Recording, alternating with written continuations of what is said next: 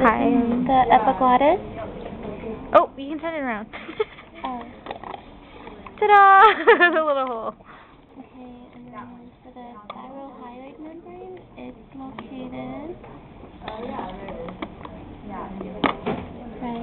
here. Right here.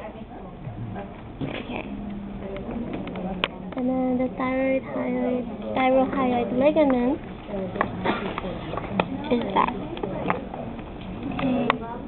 Um, for the thyroid notch, we're not really sure where that is. Alrighty. Um, the arytenoid cartilage is zero.